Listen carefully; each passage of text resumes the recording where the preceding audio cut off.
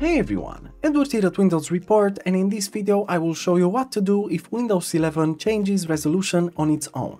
So the first solution that you should always take in consideration is to deselect the base video option. To do this, press the Windows button, then simply type msconfig and then select system configuration from the search results. Now in here you can just click on the boot tab and the next thing you have to do under boot options is to deselect the box next to base video. Lastly, just press on apply and OK to save the changes and then choose to restart your computer to apply the changes. You can then check if the problem still persists. Moving on, another useful solution is to clean boot Windows.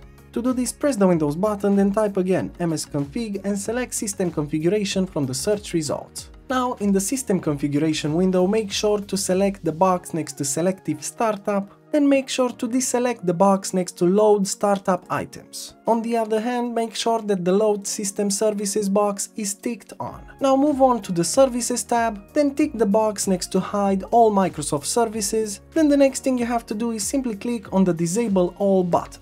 Now you just have to click on apply and OK to restart your computer and then check if the problem still persists. Moving on, another great solution is to use Device Manager. To do this, right-click the Windows button, then select Device Manager from the list of options. Now, in the Device Manager window, make sure to expand Display Adapters, and then right-click on the problematic device and select the Properties option. Now click on the Driver tab, and in here, as you can see, you have plenty of options to fiddle with. You can update your driver to see if the problem still persists, so click on it and then select search automatically for drivers and Windows will try to find the best drivers for your PC. But if this step doesn't prove to be useful, you can also roll back the drivers. So if the device fails after updating the driver, just roll back to the previously installed driver to see if the problem still persists. And lastly, you can also uninstall the device. By clicking on this button, you have to tick the box next to attempt to remove the driver for this device, and then click on the uninstall button to once again confirm this choice. After uninstalling the driver, restart your computer, and you'll see that the drivers will automatically be reinstalled on your PC. You can then check if the problem still persists.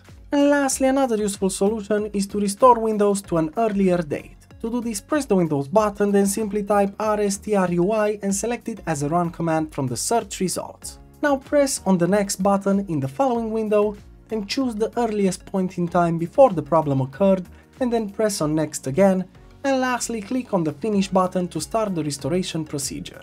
Afterwards you can just check if the problem still persists. Another great method is to use DriverFix which is a free updater application for Windows. So basically DriverFix scans your whole system and then searches the web for the most recent drivers. And from there on you can choose to update the drivers you need manually or all at once if you upgrade to the Pro version. So make sure to check it out and get it for free by accessing the link in the description below.